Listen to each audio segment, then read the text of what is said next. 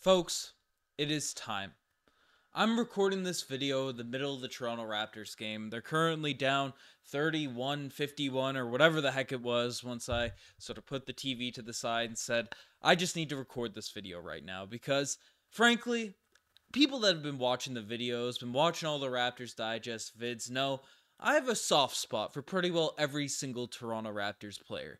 95% of the guys that put on that Raptors jersey, I look at and just say, hey, they're they're my guy. I'm gonna support them. I hate to see them traded. Obviously, we react to every like report and rumor and stuff on this channel and things along those lines. But I'm generally of the opinion of giving every player on the Toronto Raptors their fair shot. As I'm a homer, I'm biased, all that type of stuff. That's the point of the Raptors Digest to give a fan's perspective on this Toronto Raptors team.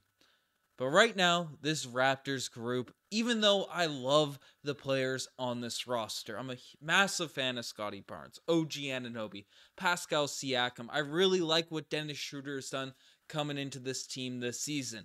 Jakob Poeltl, we were pumped to see him back last year, and even off the bench, guys like Precious Achiuwa. I think there's potential there. I'm impressed that Malachi Flynn shoveled his career out of the mud and is probably going to get a second NBA contract. Even the deeper bench guys, you know, Chatty Thaddeus Young, we were pumped when we took him away from Goran Dragic.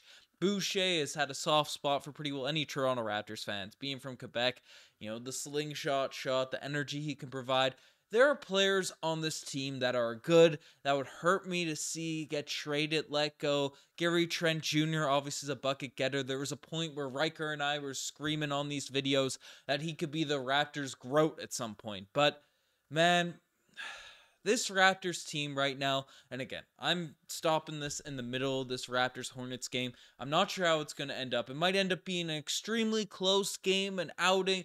You know, the Raptors might still end up being blown out. Sure, they heck they might end up winning this game, and I have to record a different reaction after this one. But right now, I am just deflated as a Toronto Raptors fan watching these games, watching what's happening with this current core group. And we've heard the speculation, we've heard the reports. This is not me diving into any more Sacramento Kings, Indiana Pacers, Atlanta Hawks trade rumors for Siakam OG because they're going to come and we're going to cover them. We're going to break down all of the inner goings on this team. But right now, I am just not excited. I don't have that internal hope, that excitement that the Raptors could turn things around. They could get these wins. We just played the Charlotte Hornets, and I don't want to bag on the Charlotte Hornets because they have some talented guys. I've always been a Terry Rozier kind of fan.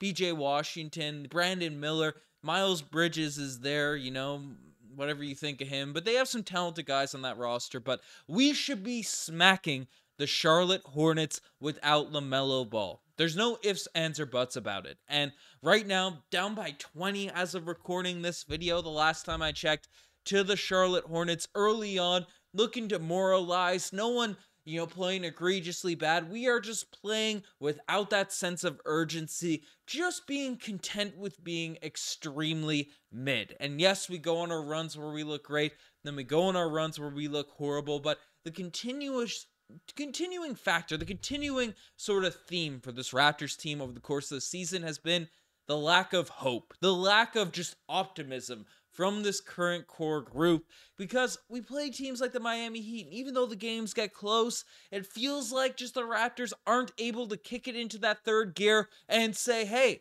we can win this game. We can turn things around the same way they had for year after year after year during the Lowry era, the Kawhi era, heck, even the Fred Van VanVleet, Pascal Siakam era, the first couple, sort of a little bit of maybe the one season where we were the fifth seed. But this Raptors team had an identity. They had uh you know heat culture so to speak that we had our own thing going on with the toronto raptors where no one wanted to play us. We executed on the defensive end. We'd always give it our all. Sure we might be inconsistent. We'd have our weird nights shooting the basketball but no one ever wanted to play the toronto raptors even when we were bad. We had this hope. We had this fire. We could immediately come back from any deficit from any loss. It looks surmountable for this raptors squad. And frankly that has been long gone. That has been long dead over the past couple seasons. And right now, Masai Ujiri's hoping for that to come back because we have talent on this roster. We have players that won an NBA championship on our team right now. But frankly, It just doesn't look like it right now. So the Raptors, again, they have a couple weeks, they have a month or so to really see if they can turn it around, but this should have started a week ago. This sense of urgency, this immediate sort of reaction in terms of, hey, we need to kick things into gear the same way Kyle Lowry and DeMar DeRozan did in 2013 or 2014 during that season. The same way two of those guys led the charge once Rudy Gay was traded, once all the trade rumors percolated for Kyle Lowry going to New York, DeMar DeRozan going any which way. When those rumors started, Masai Ujiri's first season with the Toronto Raptors, do you know what happened?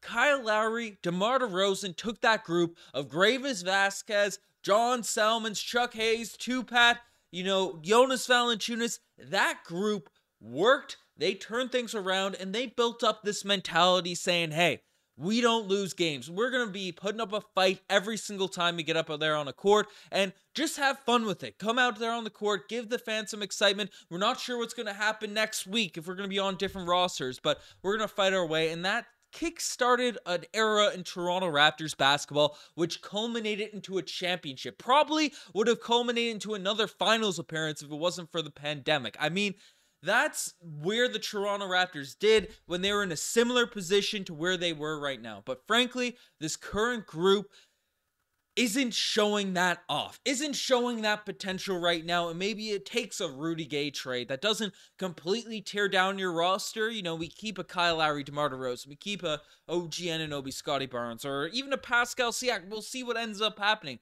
But we keep one of these guys, and then the new looked new team, you know, switches us into a new era of Raptors basketball. I'm not writing that off as a possibility, but frankly, right now, the team looks demoralized. I'm looking at the screen on the side. Darko looks sad there on the screen, looking at his notes and stuff. And, you know, Raptors fans are just kind of sick of what's been going on out here on the court. And that's why a lot of people are calling for moves, calling for changes and stuff. But regardless of if it's a transaction, you know, blockbuster trade, or just something happening, something changing in the eyes and the perspectives of the Toronto Raptors players on the basketball court, something has to change with this Toronto Raptors group because it's not just this loss to the Hornets that's going on here right now. It's not the loss to the Miami Heat. It's not the loss to the Cavs, the Knicks, all these types of t- teams that we should be beating if we want to have any hope of being a squad that can even just make the playoffs this year, right? It's not that. It's just the the whole aura of Toronto Raptors basketball, all the words, all the puff pieces, all the quotes from Masai Ujiri, Rajakovic, Nurse before this, Siakam, Fred when he was here, Schroeder, everyone that's been putting on Toronto Raptors gear over the past couple years have said the right things and have got us excited, you know, month by month. Oh, things are about to change. A move is about to happen. Don't put your phones down. The culture has shifted. New offense, new this, new that. That's been a whole lot of talk and a whole lot of the same garbage that has been put out there on the basketball court for the past three seasons. So, you know what? I don't know. It's time for changes to occur. It's time for change to actually happen in this group. And whether it's a move, whether it's this, that, the coaching change, even though I'm not bashing on Rajakovic, I'm not bashing on what Nick Nurse did. That hasn't seemed to have that big of an impact right now in terms of what's going on with this roster. This is not a logical rant in terms of what specifically needs to be fixed, but I'm saying something has to change because as a diehard Raptors fan, as a guy that talks about this team day in, day out, out here on YouTube, spewing all this type of stuff, I mean, even I'm sick of what's going on out there on the court at this point. So hopefully something ends up going on. I'm frustrated by the product that's going out there on the basketball court. I'm frustrated that you know none of the actual problems. We're dealing with the same issues year after year. I guess we dealt with adding a center last season, so that's it. But the depth is still a problem and all that type of stuff. I mean, at least the Blue Jays right now are trying to make a push for Shohei Ohtani, trying to make that push. But again, they might fall short as well we'll see what ends up happening. It's tough being a Toronto sports fan right now here at this point, but this is just a long-winded rant. I felt like I needed to do watch in the middle of this Toronto Raptors game and maybe this is the start the second half they're great. I'll still be watching I'll still be covering everything but I don't know. Let me know what you guys think about this Toronto Raptors squad in the comment section below. You guys are the best to make this far. We're gonna get through this together digest family. I'm gonna be on the next live watch along with Marcel as well lots of uh, lots of fun stuff coming. But I'm reaching a breaking point with my optimism, my hope for this team. So I felt like I need to throw out there a rant on the internet before this game is over, before I have a meltdown watching this uh, specific basketball game against the Hornets. But you guys the best make this far. Subscribe to the channel because a new era of Toronto Raptors basketball starts tonight. That's that's my take.